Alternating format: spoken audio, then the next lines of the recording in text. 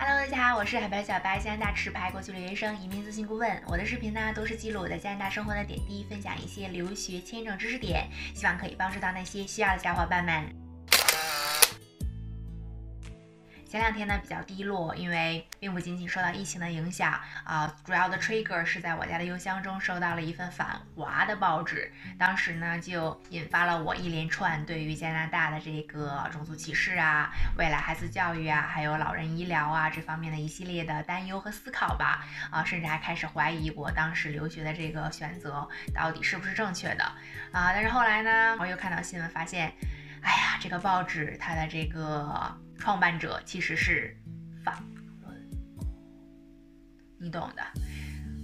不说什么了。之后呢，无独有偶，我又在网络上看到这个北大教授的一篇关于留学的文章啊，就说在疫情之后，留学的黄金时代也就要过去了。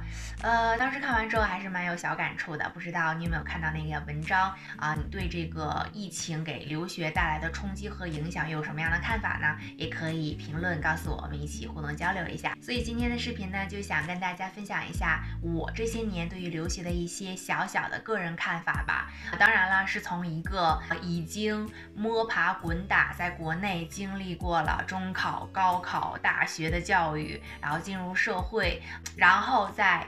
啊，考虑自己未来的路到底何去何从，选择了出国留学这条路的一个啊偏熟龄留学学姐的一个啊方面角度来给大家做一个分享吧，希望可以对即将出国留学的小伙伴们，或者现在在考虑出国留学的小伙伴们有一些思考和这个启发吧。今天这个视频呢，想先跟大家聊一聊四个最最最最最最常被问到的问题，当然了，也可能是大家觉得。最最最最最俗套的问题，但往往就是这些俗套的问题，才能真实的展现一个人的这个留学的心理路程和思想转变。希望大家可以耐心看下去。为什么选择出国留学？国内混不下去了。其实对于留学出国，我觉得每一个人的原因可能或多或少啊都会有一些不一样的，但是它最根本的一个本质应该都是一个想要对自己寻求一种改变或者是一种挑战。其实，在大学之前，我是非常抵触这个出国留学这件事情的。我当时还有一些年轻吧，觉得。我要学业有成，报效祖国。我是学的五年的临床医学，在大学的时候，啊，当时还是想立志想要成为一名优秀的医生，来拯救，啊，嗯，或者说是改善那个时候还并不是很完善的医疗体制。但是大学毕业之后，你会发现，啊，现实还是有一些残酷的。首先，必须要承认，我不是特别优秀的学生，在国内也不是说九八五啊、二幺幺非常名校的这个啊尖子生没有，就是一个普通一本，成绩的话可能会中等偏上。当时这个第一批入党还是一个非常值得骄傲的事情了，但是现在，哎呀。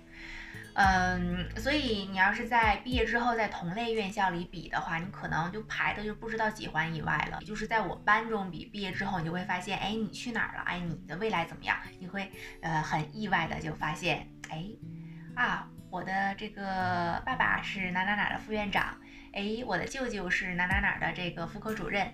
哎呀，似乎每个人都有了着陆啊，所以当时还会有一些小小的失落感吧，觉得有一些事情是，呃，我们自身就是控制不了的，所以也算是。为我未来打算出国留学埋下了一个小小的种子吧。还有一个呢，就是在我毕业的时候，那个时候医患关系已经其实有一些紧张了。我在实习的那一年就看到医院门口就做了好些那个就是专业的医闹，所以内心里还是有一些，哎呀，就是小失落吧，就会觉得哎呀，怎么这样呢？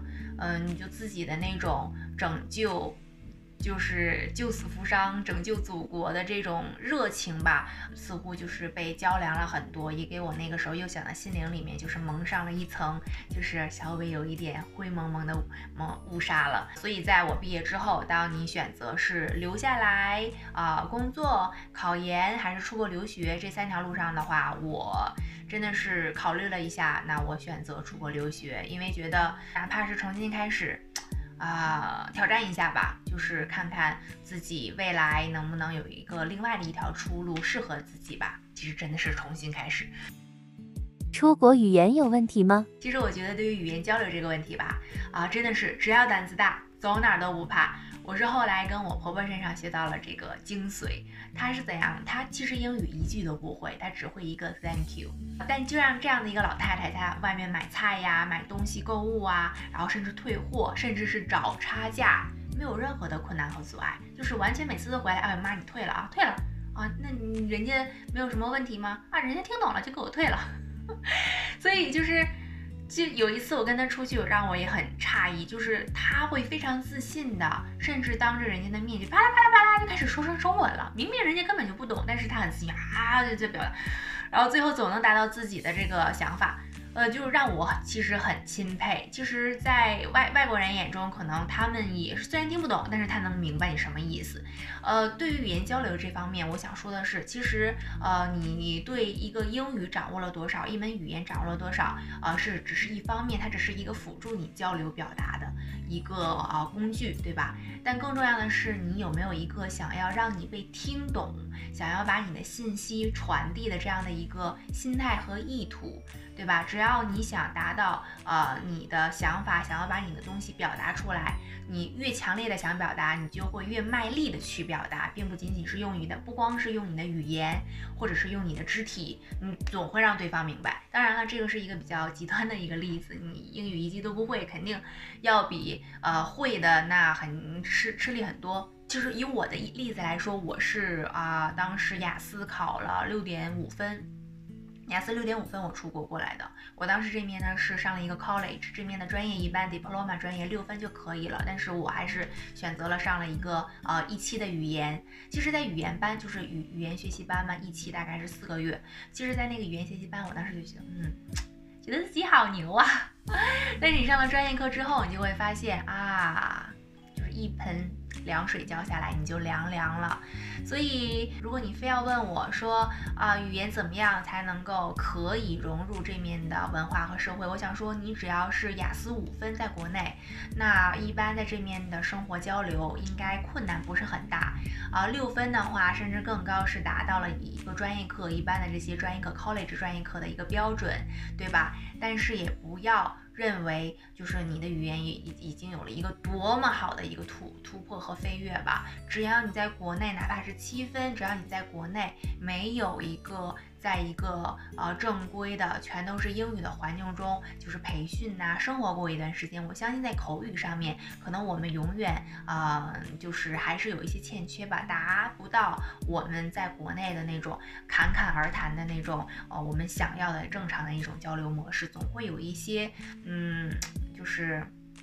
有一些小尴尬的 moment，或者是一些小窘迫的 moment。如果可以的话，经济允许的话，建议大家呢也可以出国，先选择呃一期的语言学习，像两个月呀，或者是四个月呀，给自己的语言一个过渡，然后给自己的身心也有一个过渡，能够让大家让自我更好的在这种呃一个异地的环境中去融入，就是不会让自己的生活那么让留学那么不要给自己太大压力，有的。时候压力太大，就是又想家，英语又不好，学习压力又重，就是会出问题的。还是就是正常的，我们正常走这个人生的这个路嘛，慢慢走，去体会，然后享受身边的风景，就 enjoy the moment。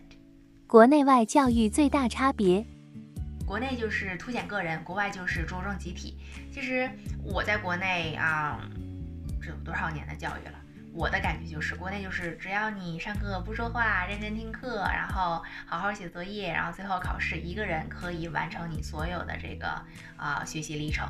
但是你在国外的话，你没有一个小组的一个 partner，你真的是很难毕业的。国外的作业，尤其是非常的种类繁多呀，这个五花八样啊，这个什么啊 quiz 啊，test exam 啊，assignment 啊，project presentation 啊，group discussion 啊，哎呀，真的是千种万种的。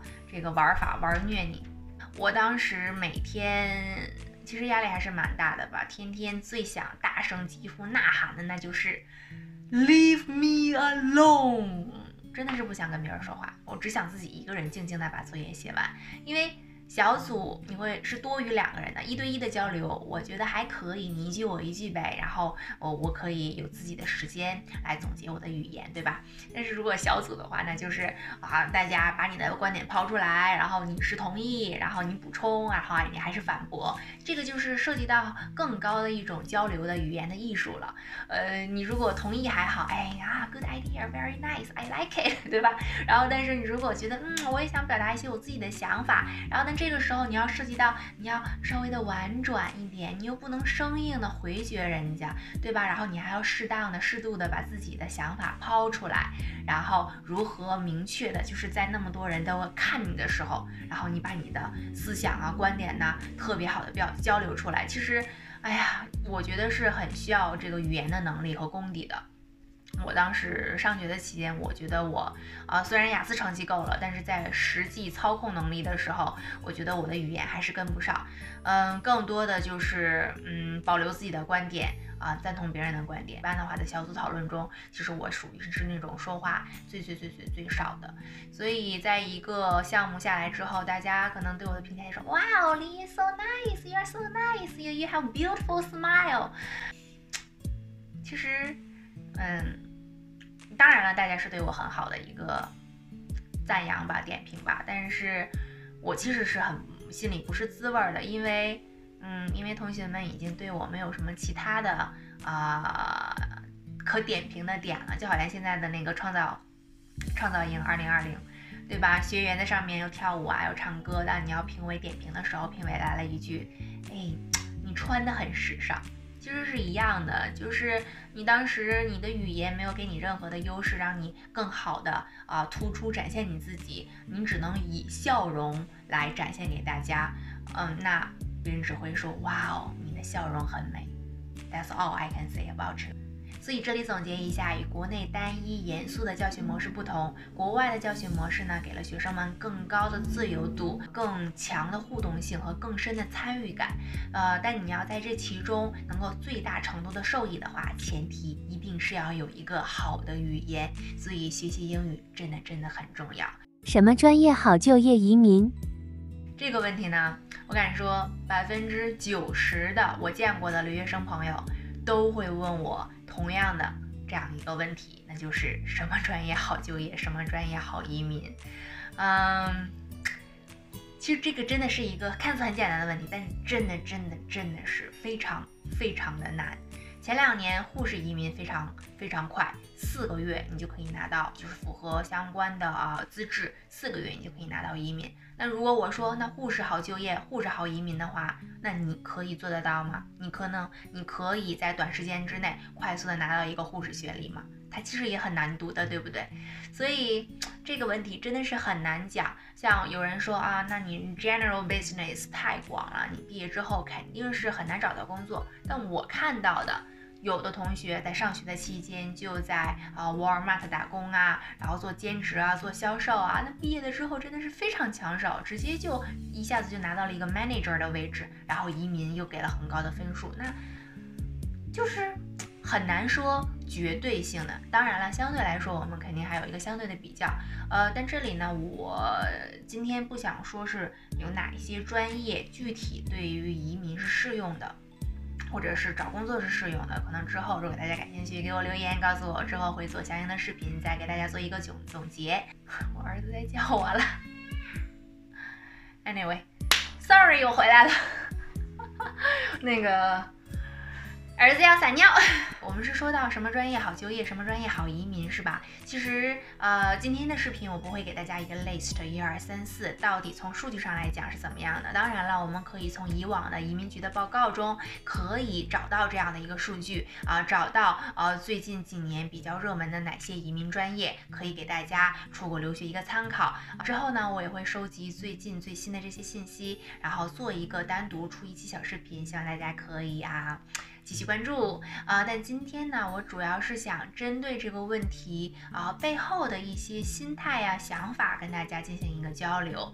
我看到的一些留学生朋友们，他就是留学的这个啊目的性非常强。用他们的话说呢，就是我不移民，我出国留学干什么了？我把国内的房子啊什么都卖了，我孤注一孤注一掷，破釜沉舟，我就是要过来移民的。嗯。嗯，还是挺好的，对吧？有一个积极的心心态，然后目的性很强，嗯，对吧？我觉得可能对于他们来说，还是呃一个很正能量的一个促进吧。但于对于我来说，我觉得是不是可以更好的调转一下心态？因为。呃，毕竟移民不是我们的终点站，对吧？我们是想要更好的去找这个生活，更适合我们的生活，去享受生活。留学，我相信也只是大家在人生中寻找自己这个理想生活状态的一个。过程，对吧？我们要用心去体会这种过程，用心去努力争取，然后去享受这个过程，而不能在这个过程中非常的煎熬，想着我就要移民，移民，移民，移民。因为你目的性太强的话，有的时候你会发现适得其反。真没有必要就认为国外的一切都是好的，国外就没有这个食品污染呐、环境污染呐、呃职场压力啊、职场斗争，国外也有的，只能说相对来说可能少那么一点点。但是你要想达到一个啊好的生活状态，也是一样要。和这个国内付出的啊一样多的，甚至要比国内付出的还多，因为我们知道英语确实不是我们的母语，某种程度上我们是要付出加倍的努力的。以上呢就是我对出国留学最常见的几点问题的一些小小的个人看法和分享。当然了，我们每一个人的这个想法呀、situation，还有侧重点肯定都是不一样的。这里呢，我们就要集万家之言，然后总结出来那一点点的精华，针对你的实际情况做出最适合你的决定，应该就是最棒的。我是海白小白，我们下期再见。